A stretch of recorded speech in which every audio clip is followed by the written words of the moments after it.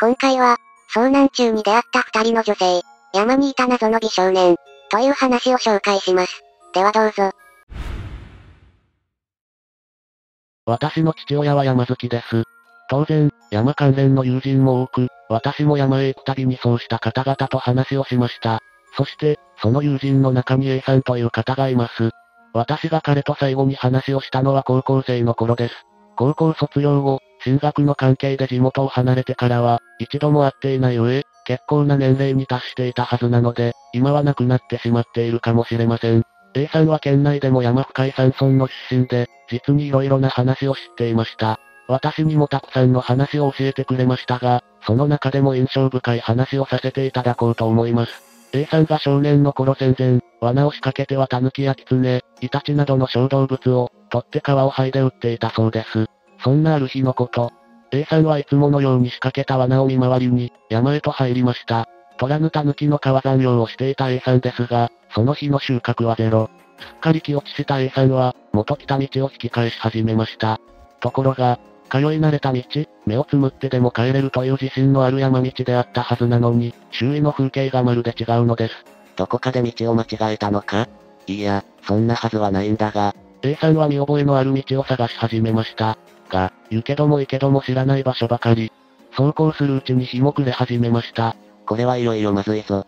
下手をしたら、山で夜明かさないといけない。なんとか元の道に出ようと必死になりましたが、すべては徒労に終わりました。すっかり暗くなった山の中で、A さんは途方に暮れました。ところが、耳を澄ませると、どこからか人の話し声が聞こえる。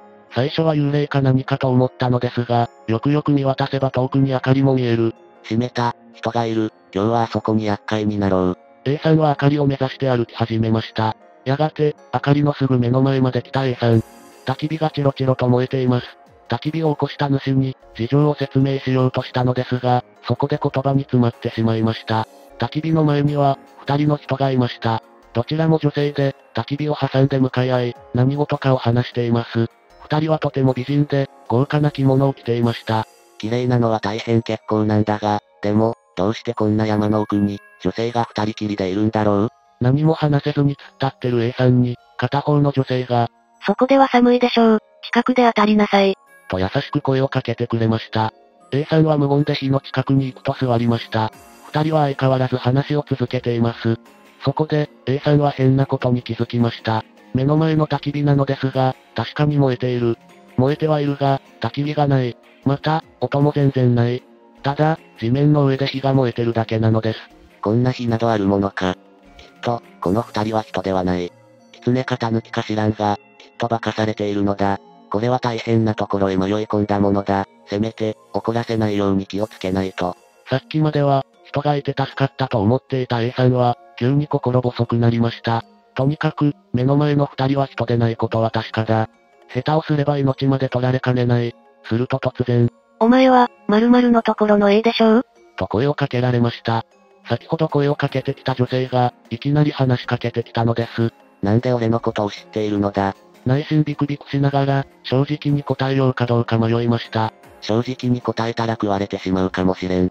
何せ、今まで俺は結構な数の、タヌキだの狐の皮を剥いでるんだ。こんなところで仲間の敵討ちなどされたら、逃げようがないじゃないか。隠さなくてもいいこちらはお前のことをよく知っている。お前の父や母のことも、よく知っている。A さんは何を言われているのか、全然わかりませんでした。俺の父親や母親を知っているってどういうことだ？あまり子供を驚かせるものじゃない。見なさい、怖がってるでないの。もう一人の女性が、答えに詰まっている A さんを見かねてか、助け舟を出してくれました。彼女は続けて話します。私たちに化かされていると思ってるみたいだけど、決してそんなことはしないから安心しなさい。明るくなってきたらね、道を一つ越えてさらにずっと下りなさい。そうすれば、村への道に出られるから。なんとか A さんは声を出しました。なんで俺のことを知ってるんですか？二人は誰？すると、二人はそれぞれ名前を言いましたが、やたらと長くて難しい名前でした。立派な名前ですね。というと、二人は笑って返しました。そして、私たちはみんな、こんな名前だから。と言いました。やがて、夜も明けてきました。すると、そろそろ山を降りなさい。さっきも言ったけれど、ここをまっすぐ下りなさい。途中で細い道があるけれど、そっちに行ってはいけない。その道を越えて、さらに下へと下りなさい。その細い道は何の道なんですか？と A さんは質問しましたが、知ってもしょうがないことだから、と返されるだけでした。二人に別れを言い、A さんは山を下り始めました。降りる途中、後ろを振り返りましたが、すでに明かりは消えて、人の気配も消えていたそうです。女性に言われた通り山を下った A さんですが、さっき言われたような細い道が見えてきたそうです。ここを下った方が、早く山から出られそうなんだけどな。そんな考えが頭をよぎります。行ってはダメだと言われたけど、見た目は全然普通の道だし、この道を下ってしまおう。そう思って踏み出そうとした時です。道の奥から人が一人歩いてくるのが見えました。なんだ、俺以外にも人がいるじゃないか。やっぱりさっきの二人は狐型抜きだ。この道を無視してさらに下ったら、滝壺なんかがあるに違いない。危ない危ない、騙されるところだった。そう思いながら、道を歩いてくる人に声をかけようとした A さん。が、相手の姿を見て絶句してしまいました。見た目は確かに人でした。そして、昔の貴族の従者が着てるような狩り絹を着ています。しかし、A さんが驚いたのはその人の服装ではありません。その狩り絹を着た人物。袖から出ている手足に皮膚もなければ肉もない。要するに、白い骨が剥き出しになっていました。また、顔には目の部分だけに穴を開けた、木の面をかぶっています。その下も白骨であろうことは、当然予想できました。そいつがふらふらと道を歩いてくる。なぜ白骨が歩けるんだ？これこそおかしいじゃないか。A さんは、とっさに茂みに身を隠しました。逃げようとして下手に動くより、藪に隠れてやり過ごそうと考えたのです。その白骨は、相変わらずふらふらと歩いてきます。そして、よくよく見れば、何かを引きずっているようでした。その引きずってるものを見て、A さんは再度仰天します。足に縄をかけられた白骨でした。しかし、引きずっている奴が狩り絹を着ているのに対して、引きずられている白骨は、立派な着物を着ています。おそらく、貴族か何かなのでしょう。A さんが推測するに、狩り絹の男は衆殺しをしたのではないか、とのことです。ここで言う人は、引きずられている貴族風の白骨。その従者たる男はその罪のために、死罪となったのではないか。が、当時の A 少年はそんなことを考えるほど余裕がありません。ただただ、頼むから気づかれませんように、と願うのが精一杯でした。やがてその白骨は、A さんの隠れている茂みの前までやってきました。そして、そのまま通り過ぎてくれるかと思いきや、そこで立ち止まって周囲を見渡し始めました。しまった、気づかれたか。狩り絹の白骨は、縄を持つ方とは逆の手を、そろそろと腰の刀に伸ばします。もはや、一刻の猶予もなりません。見つかるのは時間の問題であるように思えました。いや、すでに見つかっているのかも。じっとしていても見つかる。ここは一か八か、やるしかない。A さんは声にならない声を上げながら藪から飛び出し、一足飛びに道を飛び越えて、転がるように山を下り始めました。後ろからは刀が空を切るような音がしましたが、振り返る勇気などありませんでした。つまずいたり転んだり、枝に顔を打たれたりしながらも、必死に山を下り、気づけば自分の住む村のすぐ近くの道に出ていました。日はすっかり昇っていましたが、それでも安心できずに村まで駆けていきました。村では、A が消えた、神隠しにでもあったのではないかと話し合ってる最中でした。A さんは事の次第を両親に話したそうです。それを聞いた両親は、山の神様が息子を守ってくださったと大層喜んだそうです。また、二人の女性が話した自分の名前ですが、一つは村の近くにある山、もう一つは少々遠方だが有名な山、そこにいる神様の名前ではないか、とのことでした。狩り犬の男と貴族の白骨に関しては、両親も全く知らなかったそうです。A さん自身も色々調べてみましたが、結局わからなかったそうです。もし、A さんが女性の言うことを聞かずに、最初の道を行ったらどうなっていたか。もし、狩り犬の男に捕まっていたら、すべては闇の中です。オツです。日本昔話を思い浮かべて読んでいました。GJ、もう一つは読みへの道とかですかね。これは言い換えき話ですね。よもつ平坂にでも入ってしまったのですかね。しかし子供の頃から山に入ってる俺には、何の不思議経験もない、不公平だ。ちなみに山に関する話がもう一つあるので、お話ししますね。また長文続きますのでご容赦ください。中学時代、夏休みを利用して、友達と川釣りに行こうって話になりました。夜中の午前3時頃に集合、市街地からひたすら自転車を漕いで約3時間、目的の川に到着しました。早速皆で思い思いの場所に散って、釣り糸を垂れましたが、さっぱり釣れません。ポイントを変えてみるも、やはりダメ。なので、私は徐々に皆から離れて、上流へと移動していきました。そして、自分が釣れそうだと思うポイントを見つけて、釣り糸を垂れていると、背後から、川原の石を踏む音がしました。最初は、仲間の誰かがやっぱり釣れなくて、移動してきたのかな？程度に考えて無視してたのですが、足音は私の背後で止まったまま動こうとしません。なんだ、釣らないのか？と言いながら振り返ったのですが、そこには誰もいませんでした。さらに周囲を見渡すも、いるのは自分一人です。あれ？気のせいかな。そんなことを一人でつぶやきながらも、釣りを続行しましたが、やがて再び場所を移動しようと考え、さらに上流へと歩き始めました。ここいらへんじゃダメだ。今度はずっと奥の方まで移動してやろう。そう考えながら、川沿いを若干早足で移動します。すると今度は、私の背後をついてくる足音がします。なんだ、お前も移動すんの？と言いながら、また後ろを振り返りました。すると、今度は確かに人がいました。ですが、それは友人ではありません。年の頃は15から16でしょうか。少年が一人、私のすぐ後を歩いていました。私が思わず歩くのを止めると、向こうも止まって、私の顔を無言で見つめ返してきました。なんだか変わった服を着てるなぁ。というのが私の第一印象でした。下半身はズボンに近いものを履いているのですが、上半身は裾の短い着物を着ています。腰には地味ではあるが、立派なナイフ、というより、担当探検のようなものをぶら下げています。私は彼を見ても全然驚きませんでした。近くで映画の撮影でもやってるのかと思ったのです。今から考えると、あんな田舎の山奥で、映画の撮影なんてやってるはずがありません。それでも、当時の私はそう考えました。なぜそう考えたかと言いますと、まず彼の衣装が、確実に現代のものではないこと。また、背中にまでかかるぐらいの、黒い長髪をしていました。さらに、これは私の主観が入ってしまうのですが、その少年がかなりの美形で、俳優と思ったからです。美形とは言っても、ジャニーズ系のような顔とは違うタイプです。意志の強そうな顔、と言えばいいでしょうか。そんな感じの顔でした。映画の撮影どっから来たの？俺が釣りしてると邪魔？私は彼に聞きましたが、何も答えません。少々困ったものの、こっちだって朝早くに起きて釣りしてるんだ。一匹でも釣らないと割に合わない。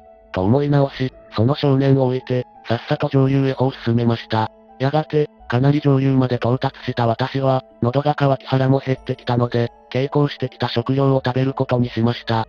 適当に腰を下ろし、自分で作った握り飯を食べていると、下流から人が歩いてきます。さっきの少年でした。私はどう声をかけていいかわからず、黙々と握り飯を食べていました。少年は私のすぐ近くに腰掛けると、こちらを興味ありげに見ています。なんなんだよ、君悪いな。言いたいことがあるならさっさと言えよ。内心ではそう思いつつも、当たり障りのないことを話しかけました。もしかして、釣りに来たの？その服、どこで売ってるの？他に一緒に来てる人はいるの？すべて無言で返されました。やがて、彼の視線が私の持っている、ペットボトルに注がれているのに気づきました。事態の打開を図りたいと思っていた私は、喉乾いてる？あげるよと言って手渡しました。彼はペットボトルを手に取ると、それを太陽に向けて、光の反射を楽しんでるようでした。変わったやつだなぁ、と思っていると、今度は向こうが私に茶色の塊を差し出してきました。どうやら食べ物らしいというのは分かったので、一口かじってみました。少々粉っぽいが、わずかな甘みがある。決してまずいものではありませんでした。美味しいねー、これ。自分で作ったの？と言うと、初めて、うん、そう。と答えてくれました。それからは、彼も徐々に話してくれるようになりました。腰のナイフを褒めると、とても喜んで見せてくれました。両場のもので、やはりナイフというよりは探検でした。若干青く光っていて、よく手入れされてる感じがしました。どこで買ったのか聞くと、譲っていただいたものと誇らしげに言いました。彼の話はまだ続きます。そのほとんどは山の話でした。そして、この山がいかに豊かな山であるかを、私に聞かせました。他にも、怪我で動けなくなった人に、手当てをしてあげたとか、山に迷い込んで泣いてる子供を助けてあげたとか、この山に逃げてきた男女をかくまってあげたとか、今考えれば、きっと古い時代の話なんだと思います。草履も脱げて、という一節があったので、ただ、その時は珍しい話に聞き入るあまり、ツッコミを入れるのを忘れていました。どれぐらい話していたか、突然、そろそろ行かないといけないから、と言って彼は立ち上がりました。別れ際に彼は、今日はすまない。だが、明日もここへ来てみてくれ。と言い残し、上流へと歩いて行ってしまいました。結局、その日は一匹も釣れませんでした。他の友人は、小ぶりながらも何匹か釣っていたというのに、そして、友人たちにこの話をしたものの、誰もその少年は見ていませんでした。家に帰った私は、両親にこの話をしました。母親はそれって変な人なんじゃないの？といった感じでしたが、父親は黙って聞いてくれて、じゃあ、明日そこに行ってみようかと言ってくれました。もともと山好きな父親で、私が山好きになったのも父親の影響なので、まともに相手してくれたのかも。次の日の朝早く、父親の車でその川まで向かいました。自転車だと3時間かかる童貞も、車だとあっという間です。川に着くと、早速上流へと登り始めました。やがて、昨日少年と話したあたりにたどり着きました。私と父親は早速釣り糸を垂れました。が、やはり釣れません。なんだ、やっぱりダメじゃないか、と思った時、竿に強力な当たりが来ました。川魚でこんな強力な引きなんて、おかしいぞ。と思いながらもなんとか引き上げてみると、なんと一尺声のイワナでした。それからは面白いようにイワナが釣れました。しかも、そのほとんどが一尺前後のものばかりです。最終的には、8匹ものイワナを釣り上げました。自分で釣り上げたとはいえ、信じられない出来事に唖然としてると、父親が、いただいたからにはお礼をしないとと、帰り際に、山のふもとにある小さな祠のような場所へ、一升瓶のお酒を置いていました。この出来事から何年も経ちましたが、未だに彼が何者だったのかわかりません。聞くところによれば、山の神様は通常、女性なんですよね。それが男性、しかも少年というのは聞いたことがないので、東北冒険坊山の神様は、少年ってことなんでしょうか。感動した。その後はそこに行ってないの？この出来事の後、何度か行きました。けれど、少年に会ったのは一度きりです。それでも、行くたびにお供えはしています。特に、ペットボトルはお気に入りだったみたいなので、ちょっと追記ですが、少年は山の話と探検の話の時は、とても生き生きとしていました。担当を譲ってくれたのは誰？と聞くと、あちらにおられる。と、その地域では代表的な山を指し示しました。意味がわからず、立派そうな担当だし俺も欲しいんだけど、まだあるのかな？という質問には、笑うばかりで答えてくれませんでした。こんなやりとりの間も、少年は担当を空にかざしたり、太陽の光を反射させたりしていました。褒められたのがよほど嬉しかったんだと思います。とにかく、綺麗な担当でした。一流の刀鍛冶が打った刀は神聖な感じがしますけど、ちょうどそんな感じを受けました。淡い青色の光を放つ闘神は、未だに忘れられません。その時、私も登山用としてナイフは携行していたのですが、近所のホームセンターで買った安物でした。なので、とても見せる気にはなれませんでした。それにしても、昔話に聞く山の神様、女性の場合は美人が多いみたいですけど、男性の場合でもやはり美目修霊なんですね。男の私でも、思わず見とれるくらいでしたから、できればもう一度会ってみたいですが、神様はそうそう簡単に現れるものではないし、多分無理だと思っています。しかし、生涯忘れないいい思い出です。きっと一致の対応が良かったんだね。イワナの塩焼き食べたい。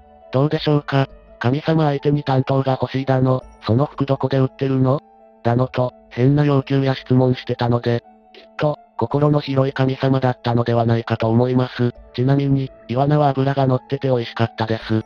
単にタイムスリップした人かと思った自分って、もしかして夢がない？相手の少年も普通に現代語を話していたので、それは多分ないと思います。でも、そういう考え方も面白いですよね。話は以上となります。気になったことがあれば、コメントをお願いします。チャンネル登録と高評価もお願いします。ご視聴いただきありがとうございました。次回の動画をお楽しみに。